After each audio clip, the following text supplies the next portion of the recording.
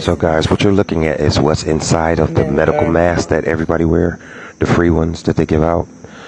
When they want you to put a mask on if you don't have one, this is what's in it. This is what you feel in your nose that's itching. It's moving. That's what they put out here as well. To me, it looks like it's looking for something to attach to. Oh, it jumped off. It jumped off. Y'all see that? Look at that. That is what's crawling. If you feel something itching in your nose and stuff all the time, this is what it is, guys. This is what they're putting in the mask. So, guys,